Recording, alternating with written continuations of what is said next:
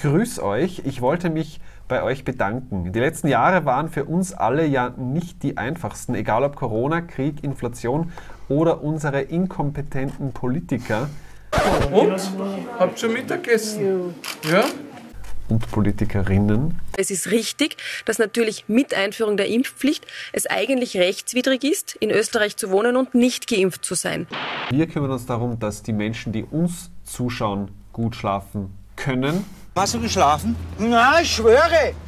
Oder das Ganze einfach besser verdauen. Weißt? Dass man nicht die politische, innerliche Speiberei kriegt. emotionale Scheißerei hat. Ja.